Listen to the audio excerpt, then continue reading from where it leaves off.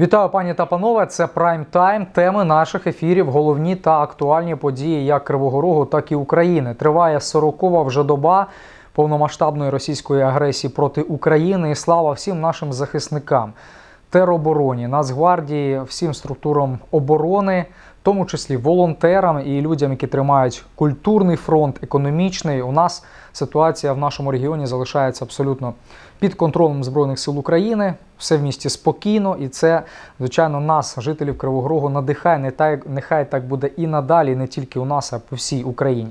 Був тривожний момент, е, як повідомляє керівництво військової адміністрації Дніпропетровщини. Вночі окупанти обстріляли декілька населених пунктів е, в Херсонській області, навіть на кордоні двох областей Дніпропетровщини та Херсонщини. Слава Богу, обійшлося без жертв. Е, Ну а в цілому ситуація, як я вже сказав, е, контрольована цілком. Ось про це заявляє і Микола Лукашук, голова облради, і Валентин Резніченко, начальник військової адміністрації Дніпропетровщини. І, звичайно, слідкуйте за е, начальником і військової адміністрації Кривого Рогу і е, головою ради оборони нашого міста Олександром Віколом. Він в своїх е, соціальних мережах постійно тримає жителів міста е, в курсі всіх подій, як е, ранком, так і увечері. Ми далі продовжуємо говорити в прямому ефірі про все актуальне, що відбувається сьогодні в місті. І е, тема продовження поводження правильного поводження зі зброєю сьогодні буде у нас звучати в цьому ефірі. Наші журналісти побували тепер вже в іншому закладі, там де теж навчають цьому, як правильно поводити зі зброєю. Давайте подивимось сюжет мого колеги Олександра Фефілатєва. Далі я, як все за традицією, представлю гостя, і ми будемо обговорювати тему.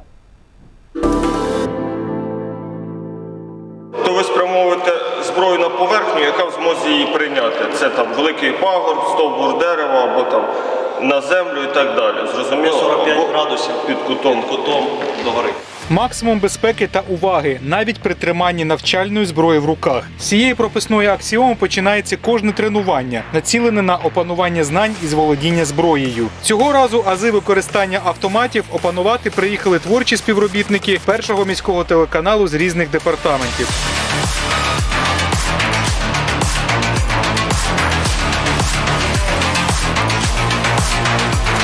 Як правильно та максимально безпечно тримати автомат в руках, як споряджати його магазином із набоями, як перемикати режим стрільби з пострілами чергами на поодинокі постріли, а ще правильно тримати корпус тіла в момент відкриття вогню. Для переважаючої більшості медійників ці знання були абсолютно новими.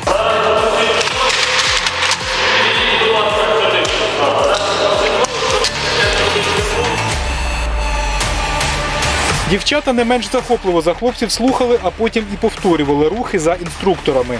Досвід був першим. Я вперше тримала вогнепальну зброю в руках, е, але я вважаю, що ем, у нинішніх реаліях це насправді потрібно знати.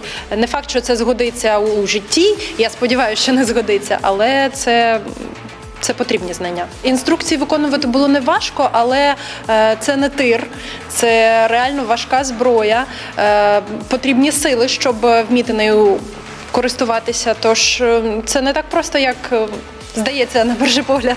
У деяких наших співробітників є, хоча й невеликий, але такий досвід поводження зі зброєю, не з армійською. Але послухати та побачити дії та рухи досвідчених інструкторів нагода вкрай актуальна з огляду на військові дії, які вже більше місяця відбуваються в Україні після повномасштабного вторгнення на наші землі Московської Орди. На данный момент уметь обращаться с оружием обязательно, но я очень надеюсь, что эти навыки нам в жизни больше не пригодятся. Э, Разница между стрелковым, допустим, и травматом очень большая разница в отдаче, разница в перезарядке пистолета. Есть небольшая разница в стойке, так как э, в травмате больше стойка фронтальная, а если оружие не стрельное, то лучше убрать ногу, допустим, назад для более устойчивой э, стойки. І хоча це заняття для багатьох стало першим, але тим не менш всі засвоїли так званий кодекс стрільця, який складається з чотирьох пунктів: завжди поводитись зі зброєю, як із зарядженою, ніколи не класти палець на спусковий гачок, якщо не збираєшся стріляти, ніколи не направляти зброю туди, куди немає бажання стріляти. Перед пострілом завжди перевіряти, що стоїть перед мішенню та позаду неї. Олександр Фефілатів, Борис Турохтій, перший міський.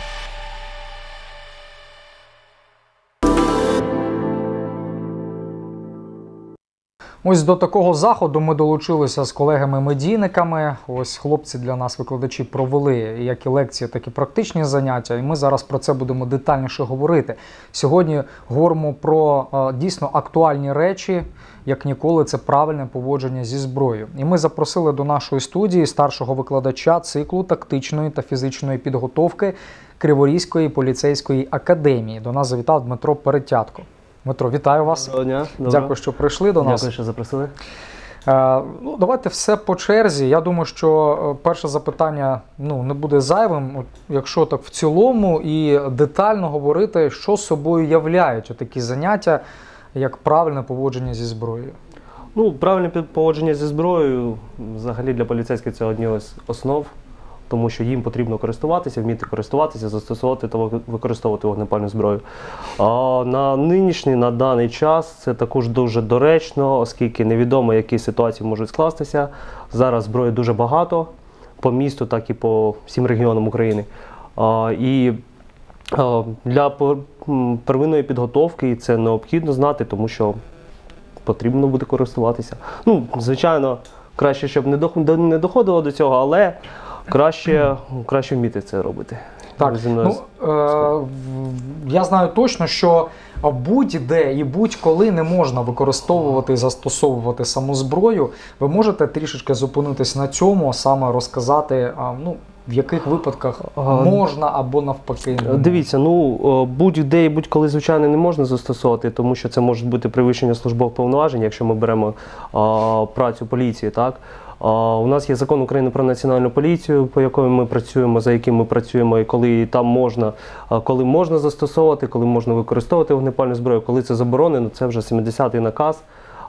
Заходи безпеки при поводженні з вогнепальною зброєю це вже від Міністерства внутрішніх справ України. Це два різні один закон, один наказ. Там точно вказується, де ви повинні це робити, і о, які, які для цього повинні бути підстави.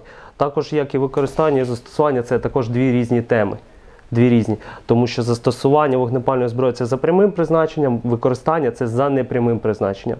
Наприклад, наприклад, застосування вогнепальної зброї, вогнепальна зброя існує для того, щоб влучати в цілі, так, та знешкоджувати цілі живі. Е, А використання вогнепальної зброї, наприклад, це для подання сигналу тривоги, виклику допоміжних сил е, і тому подібне. Тобто не за, не за цільовим призначенням.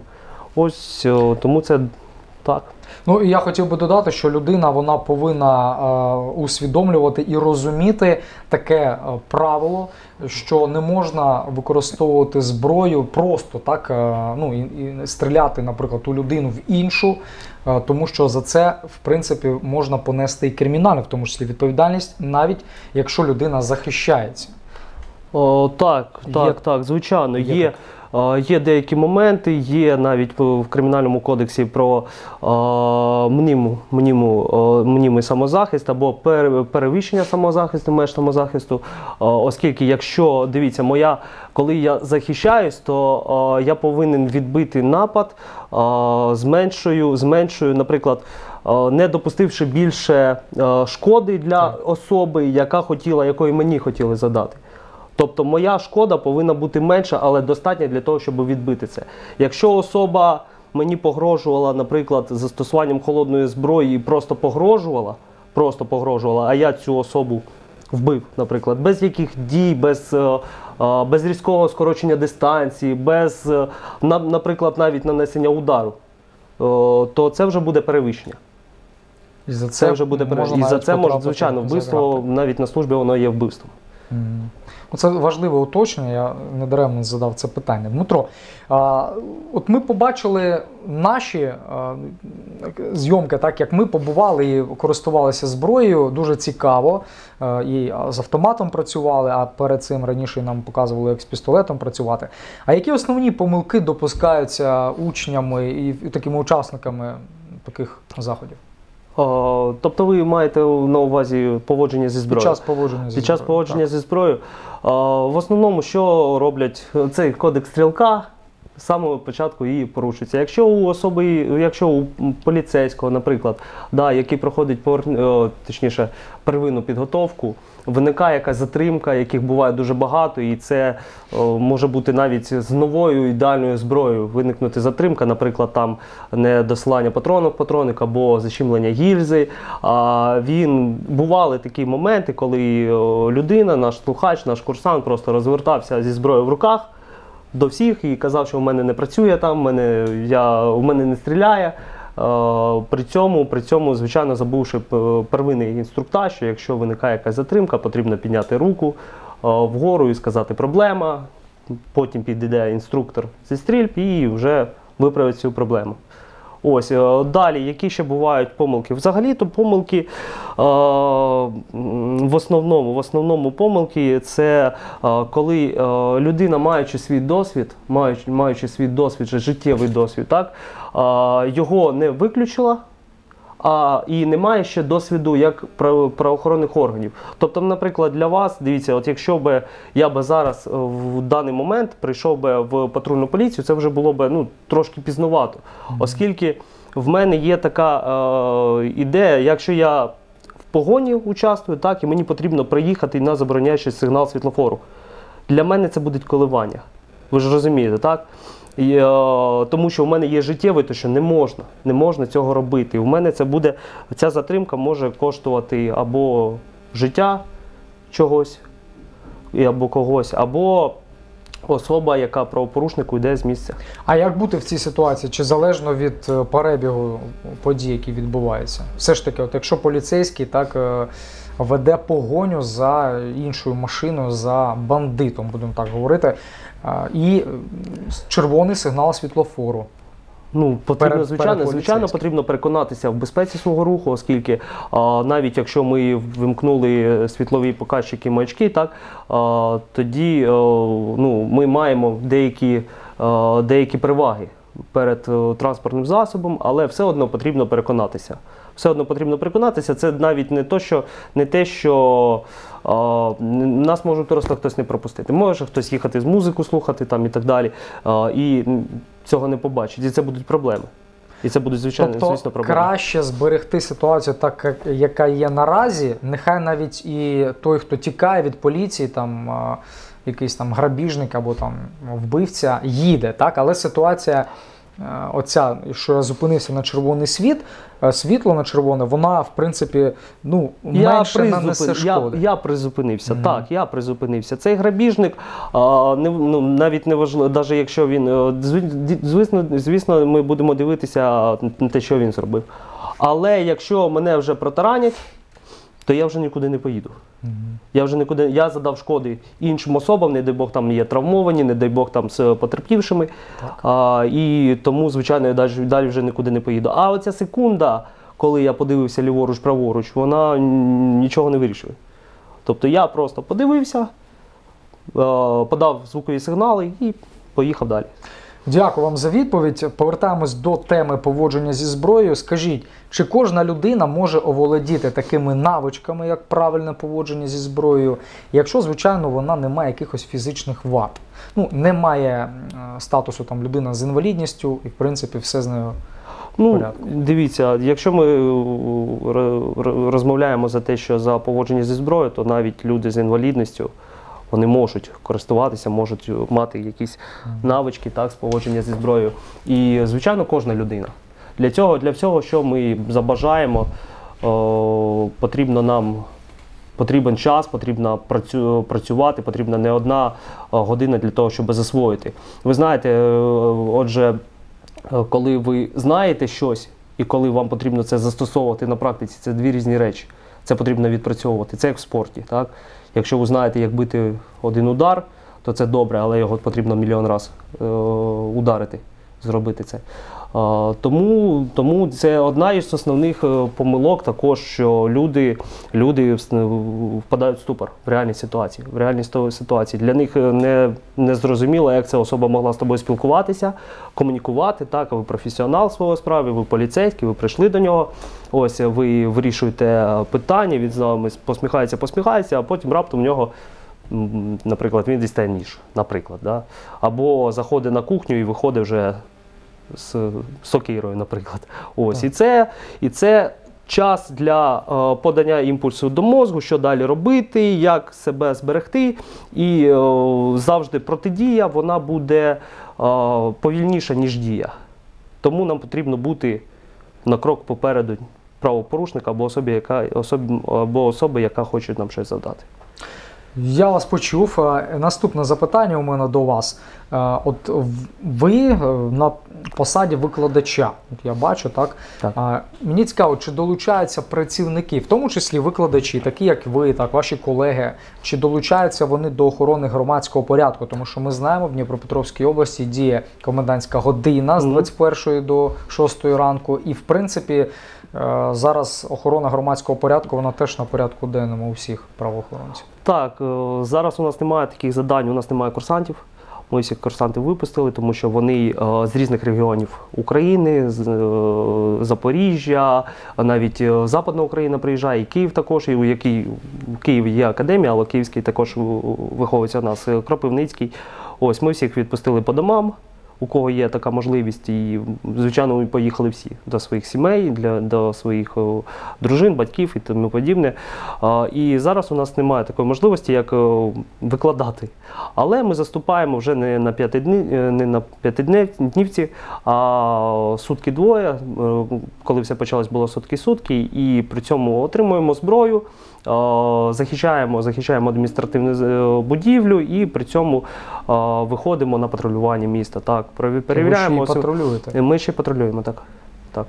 З, а, це від початку повномасштабного вторгнення, від 24 лютого. А, ні, це не від початку до цього доходили, тому що не знали, як це правильно організувати.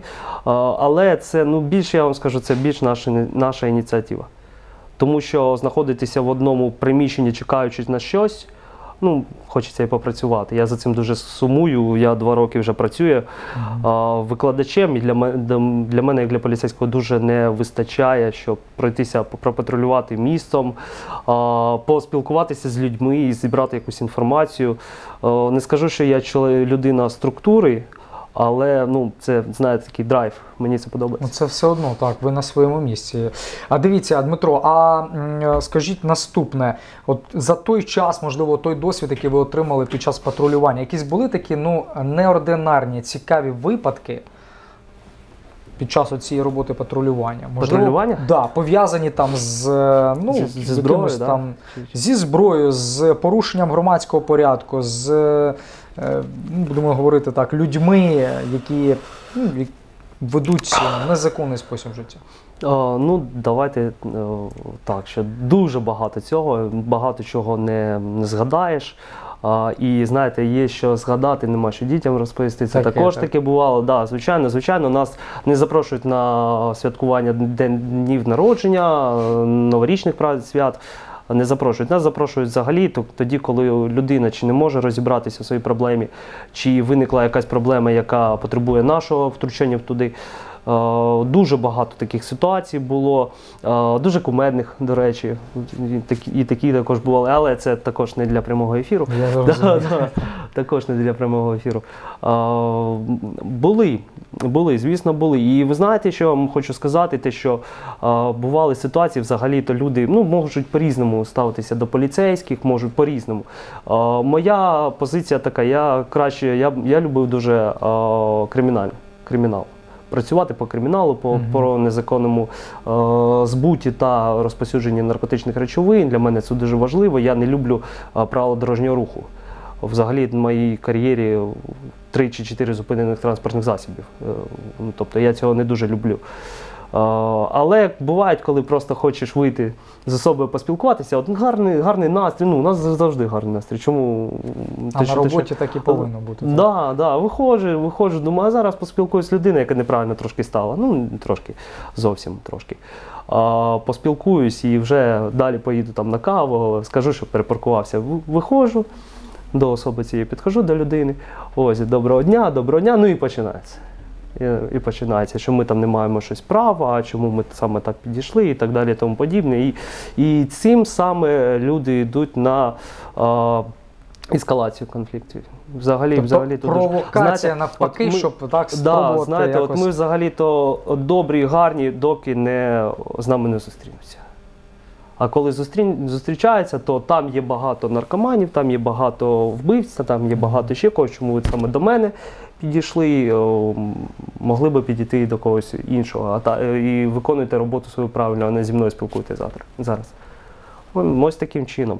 Ну, чесно вам скажу, що я вам багато чого поза- позабували вже і багато чого, що. Ні, ну але все одно не- такі випадки, от бачите, про які ви розповідаєте, вони е, цікаві навіть просто для отак, глядача пересічного, який дивиться. Тому що ми знаємо, що є поліцейські, ну це зовсім інша тема, які не зовсім чемно себе поводять, але Є, от є, про вас є, такого так. точно не. Так. Знаєте, Дмитро, є там про, по люд... Ну. Про людину можна сказати, просто поспілкувавшись з нею 5 хвилин, Можливо. хоча б якийсь висновок зробити. Е, ну, дійсно, от видно, що ви полюбляєте свою роботу і до неї ставитеся з максимальною відповідальністю.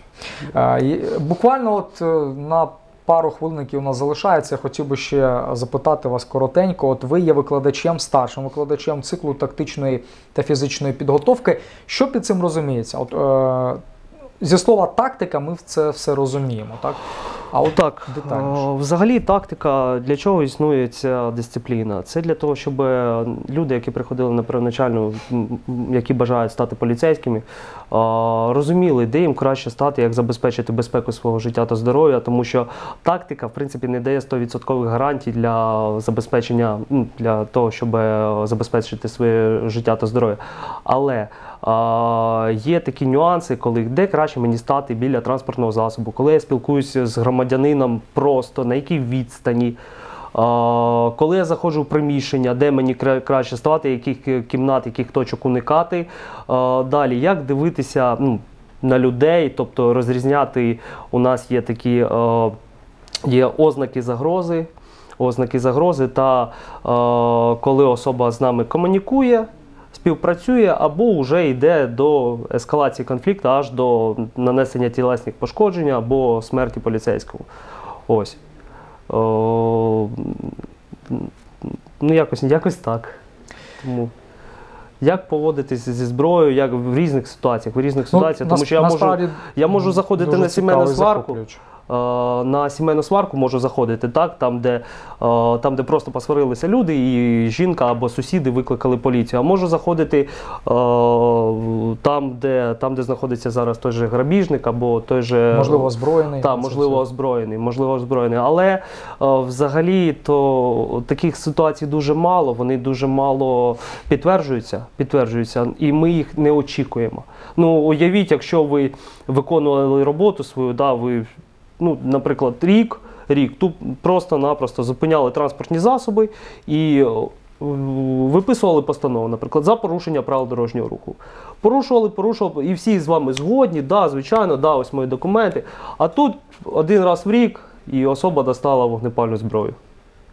І це вже вам потрібно перестроюватися. Або тут, і тут приходить е, виклик про вбивство, про зґвалтування, про якісь, е, наприклад, наприклад, якусь адміністративну будівлю, там, де зайшла особа, у якої предмет схожий на зброю якусь або вибухівку. Ось, і це потрібно дуже швидко перелаштовуватися, дуже швидко е, перестраюватися та працювати вже по більш серйозному виклику. Я вам дуже дякую за участь е, в нашому ефірі, за те, що ви прийшли, долучилися. Е, Кожен на своєму місці, і е, окремо подяка вам і вашим колегам, які охороняють у цей час. Е, в Цей непростий час для нашої країни, громадський порядок і спокій. Дякую вам. Вам теж дуже дякую. вас запрошуємо. Вам теж дуже дякую.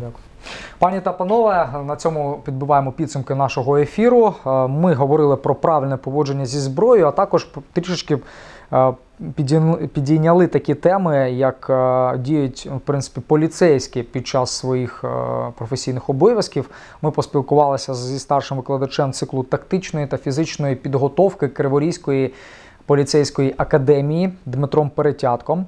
Ось ну і наостанок я хочу також буквально декілька слів сказати про повідомлення Олександра Вілкула, нашого начальника військової адміністрації Кривого Рогу і голови Ради оборони міста. Він звертається до жителів звільнених від російських окупантів районів Херсонщини, які межують ці населені пункти, межують е, разом з кордонами Криворізького району Дніпропетровської області. Так ось е, допомога у відновленні мирного життя у звільнених населених пунктах надаватиметься цим людям, які там мешкають, військовою адміністрацією Кривого Рогу. З усіх питань жителі цих населених пунктів повинні звертатися до своїх старостів та сільських голів. Е, Ну і також, що важливо, на телефон гарячої лінії Кривого Рогу військової адміністрації 1520. Саме такий номер. От, е, я думаю, що ця інформація також для когось дуже цікава і буде корисною. Дякуємо всім вам за увагу. Це був Прайм Тайм. Дивіться далі. Перший міський телеканал. Все найцікавіше попереду. Ми працюємо.